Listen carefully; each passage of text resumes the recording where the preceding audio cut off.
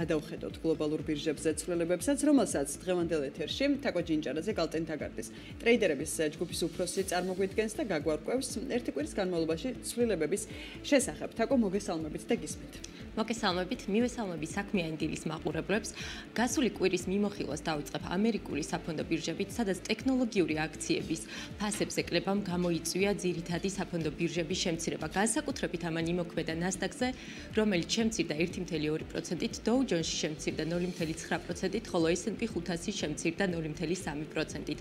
Nvidia, რომელიც 6 დღის განმავლობაში მუდმივად იზრდებოდა, გასული კვირის განმავლობაში შემცირდა 5.4%-ით.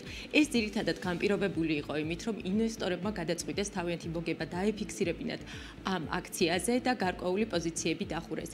ასევე შემცირდა Tesla-ს ფასი, რომელიც შემცირებულია დაახლოებით 13%-ით. Apple-ის პრობლემები გრძელდება ჩინეთში, გაყიდვები შემცირებული აქვს ჩინეთში, ასევე Apple-ს აქვს რეგულატორთან პრობლემები ევროპაში, რაც იწვევს აქციის ფასის შემცირებას. თუმცა ანალიტიკოსების მოსაზრებით ეს არის მხოლოდ კორექცია და ტექნოლოგიურ აქციებს კიდევ აქვთ ზრდის პოტენციალი. გასული კვირა განსაკუთრებით მნიშვნელოვანი იყო იმით, რომ გამოქვეყნდა უმუშევრობის მაჩვენებელი ამერიკაში. თებერვლის თვეში უმუშევრობა გაიზარდა დაახლოებით 3.9%-ით.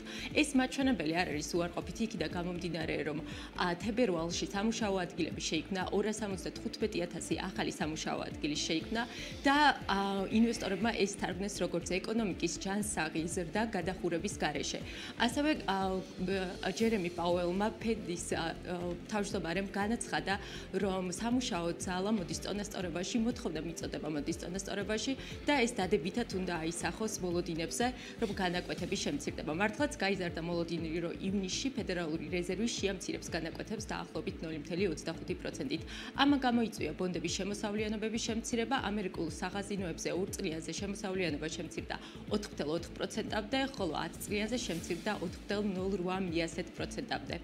გასული კვირა განსაკუთრებით წარმატებული იყო ტაივან სემიკონდაქტორ მანუფაქტორისთვის, რომელიც დაუბრუნდა 10 ყველაზე დიდ კომპანიების რიცხვს. მისი აქციის ფასი 14%-ით გაიზარდა და მარკეტ კაპიტალიზაცია მიაღწია 634 მილიარდ დოლარს.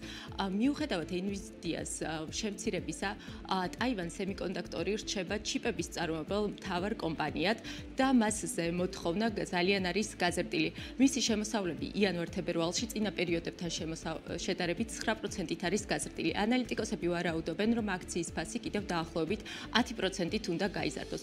ასევე წარმატებული კვირა ქონდა ნორვეგიულ Novo Nordisk-ს, რომელმაც გამოაქვეყნა თავისი ახალი მედიკამენტის შედეგები, ამიკრეტინის შედეგები, რომელიც არის წონაში კლების მედიკამენტი და კვლევების თანახმად 12 კვირის განმავლობაში ამ მედიკამენტმა 13%-იანი კლება გამოიწვია წონაში.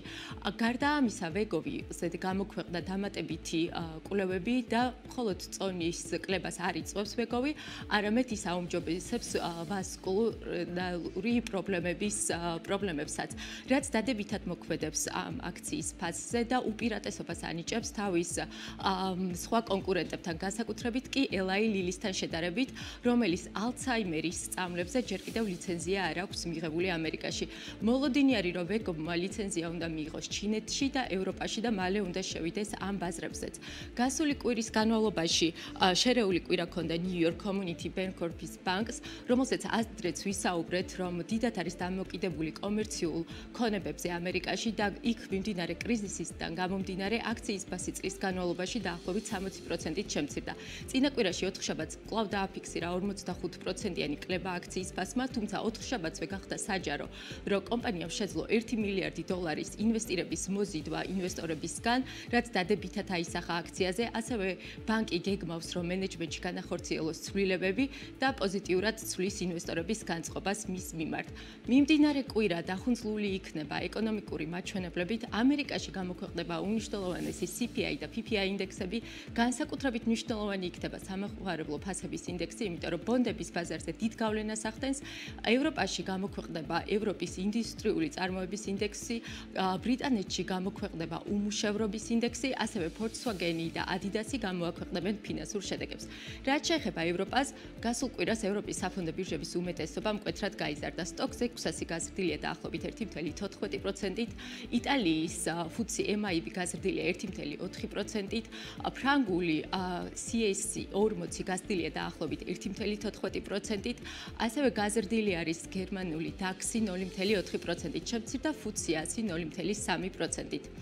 ევროპას ევროპის ცენტრალურმა ბანკმა საპროცენტო განაკვეთები უცვლელი დატოვა გასულ კვირას, თუმცა კრისტიან ლაგარდმა აღნიშნა, რომ დამოკიდებული არის ეკონომიკურ მაჩვენებლებზე მათი გადაწყვეტილება და უფრო მეტი დეტალი ეცოდინებათ აპრილში და ივნისში, შესაბამისად არსებობს მოლოდინი, რომ ივნისში განაკვეთების შემცირდება. ამან გამოიწვია ევროპული სახაზინოების შემოსავლიანობების კლებაც, მაგალითად გერმანული ბანდები, 10 წლიანი ბანდები ივაჭრება დაახლოებით 2.27%-იანი შემოსავლიანობით. რაც შეეხება იაპონიას, აქ ტოპიქს ინდექსი გაიზარდა, ხოლო ნიკეი 225 შემცირდა. იაპონიის ცენტრალური ბანკის განცხადებებით, ინფლაცია და ხელფასების ზრდა იძლევა იმის ვარაუდის საშუალებას, რომ საპროცენტო განაკვეთები მალე უარყოფითიდან გადავა დადებითისკენ და გაიზრდება. ასევე ეკონომიკური მაჩვენებლები იძლევა იმის თქვის საშუალებას, რომ მალე საპროცენტო განაკვეთებს ისინი გაზრდიან. იაპონიაში გამოქვეყნდა ასევე მოხარებელთა ხარჯები, რომელიც შემცირებული არის 6.3%-ით. ეს არის მკვეთრი კლება და ყველა სექტორზე იქონია გავლენა. განსაკუთრებით კი ავტომობილების სექტორზე, სადაც გაყიდვები არის შემცირებული.